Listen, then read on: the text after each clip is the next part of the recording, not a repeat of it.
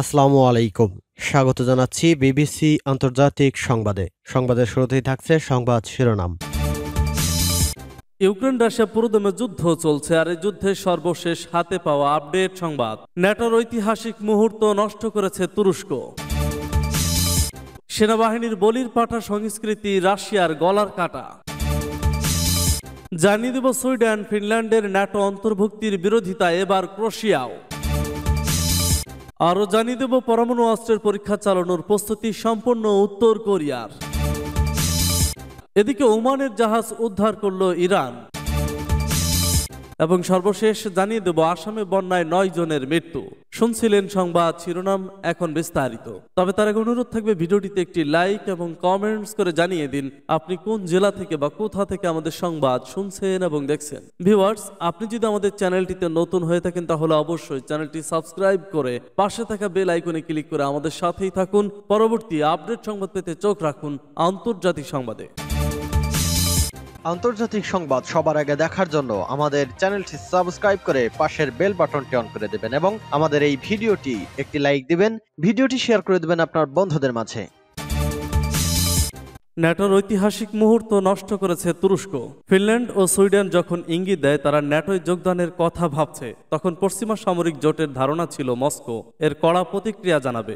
জোটভুক্ত কেউ নয়। গত শনিবার ন্যাটোর পররাষ্ট্রমন্ত্রীদের সঙ্গে যখন ফিনল্যান্ড ও সুইডেনের পররাষ্ট্রমন্ত্রীরা বিগত কয়েক দশকের মধ্যে ইউরোপীয় নিরাপত্তায় সবচেয়ে বড় বদল উদযাপন করতে বসেছিল, তখন ওই পরিবেশটাই পাল্টে দেন তুরস্কের অংশগ্রহণকারী। সেই সন্ধ্যায় বার্লিনে উপস্থিত এক কূটনীতিক জানান, তুরস্কের পররাষ্ট্রমন্ত্রী মন্ত্রী মেভলুত কাবুসুগলু সংকট মোড়ে ছিলেন তার একদিন আগে তুরস্কের প্রেসিডেন্ট রজব তায়েফ এরদোয়ান যখন বলেন, তিনি ফিনল্যান্ড কিংবা সুইডেন কারোর সদস্য পদেই সমর্থন দেবেন না। তখন অন্য নটের সদস্য হতবম্ব হয়ে পড়ে। কোন শর্তে তুরস্ক দেশ দুইটির জোট অন্তর্ভুক্তি অনুমোদন করবে তা কাবুসুগলু স্পষ্ট করেন।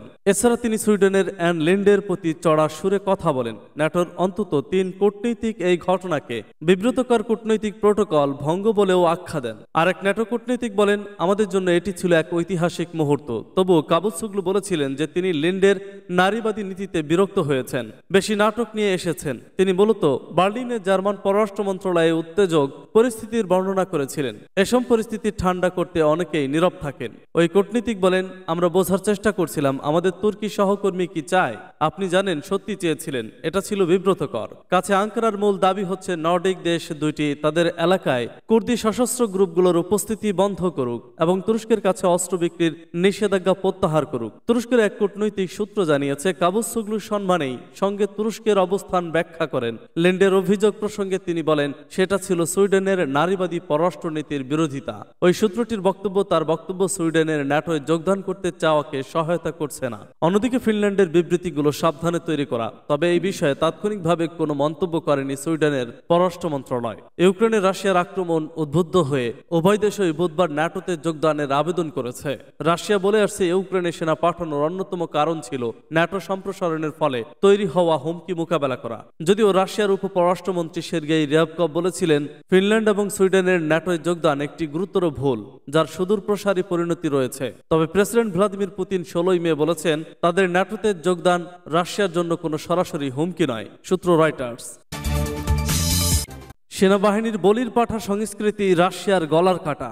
রাশিয়ার সামরিক ও নিরাপত্তা ব্যবস্থায় প্রচলিত গোপনীয়তার প্রবণতা ও বলির পাঠার সংস্কৃতি চলমান ইউক্রেন যুদ্ধে দেশটির গলার কাটা হয়ে দাঁড়িয়েছে। ব্রিটিশ প্রতিরক্ষা মন্ত্রণালয়ের নিয়মিত ব্রিফিং এর বরাদ দিয়ে কাতার ভিত্তিক সংবাদ মাধ্যম আল জাজিরা এক প্রতিবেদনে তথ্য জানিয়েছে।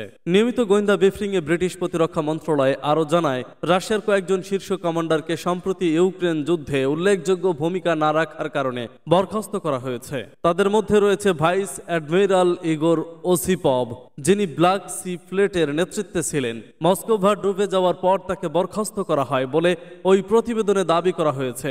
ব্রিটিশ প্রতিরক্ষা মন্ত্রণালয় আরও জানিয়েছে, ইউক্রেনের আক্রমণে জড়িত অনেক কর্মকর্তা, সম্ভবত রাশিয়ার অপারেশনাল বিপত্তির জন্য ব্যক্তিগত দোষ এড়ানোর প্রচেষ্টার কারণে ক্রমবর্ধমানভাবে বিভ্রান্ত হবেন। এটা রাশিয়ার কেন্দ্রীয় কমান্ড মডেলের উপর আরও চাপ সৃষ্টি করতে পারে।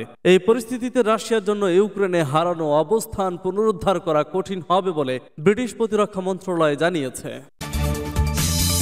সুইডেন ফিনল্যান্ডের ন্যাটো অন্তর্ভুক্তির বিরোধিতা এবার ক্রোশিয়াও। সুইডেন ফিনল্যান্ডকে পশ্চিমা দেশগুলোর সামরিক জোট ন্যাটোতে অন্তর্ভুক্ত না করার পক্ষে ইতিমধ্যে মত দিয়েছে তুরস্ক।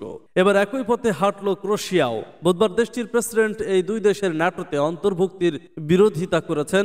বৃহস্পতিবার রুশ সংবাদ মাধ্যম আরটিএ খবর জানিয়েছে।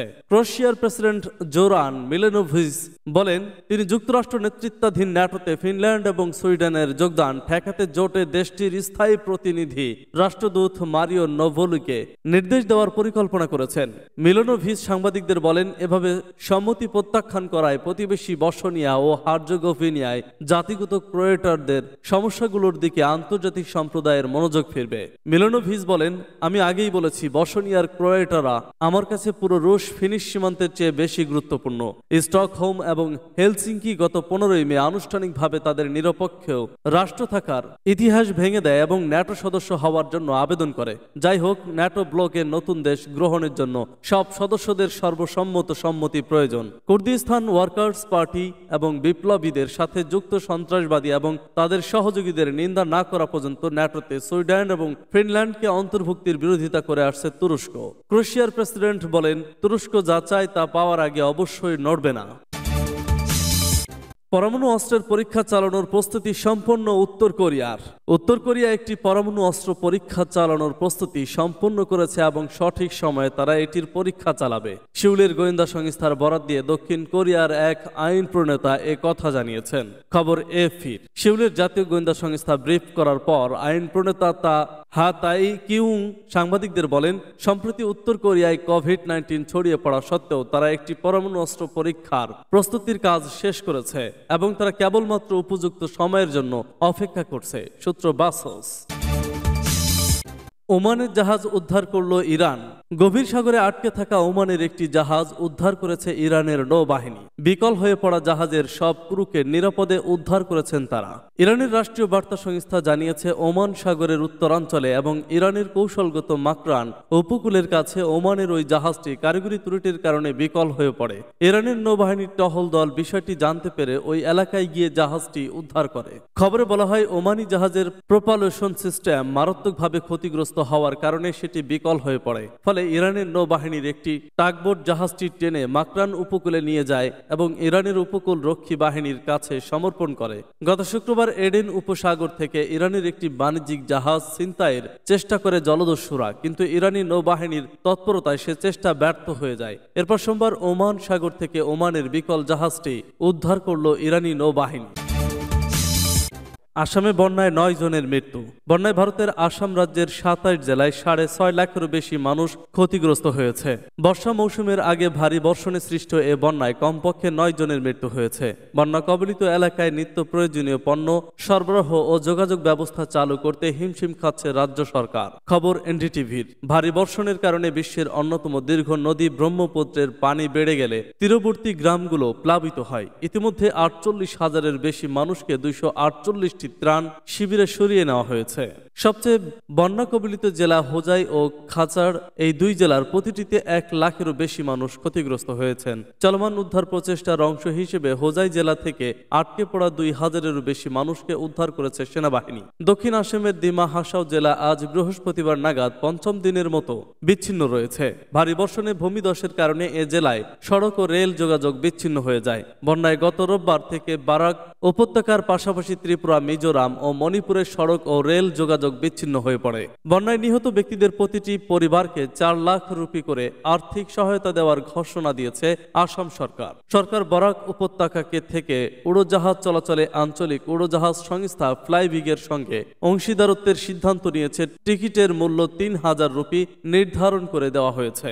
বাকি খরচ সরকার বহন করবে বলে সূত্রগুলো জানিয়েছে। দুই দিন ধরে ভারতের উত্তর পূর্বাঞ্চল আসাম মেঘালয় ও অরুণাচল প্রদেশে প্রবল বৃষ্টিপাত হচ্ছে। আগামী চার দিনেও ওই অঞ্চল জুড়ে ব্যাপক বৃষ্টিপাত হতে পারে বলে সতর্কতা জারি করেছে গুয়াহাটি আবহাওয়া দপ্তর। কেন্দ্রীয় সরকারের পক্ষ থেকে আসামকে সব ধরনের সহায়তা দেওয়ার আশ্বাস দিয়েছেন। কেন্দ্রীয় স্বরাষ্ট্রমন্ত্রী অমিত শাহ এক টুইটে তিনি বলেন, ইতিমধ্যে আসামের মুখ্যমন্ত্রীর হিমন্ত বিশ্ব শর্মার সঙ্গে তিনি কথা বলেছেন।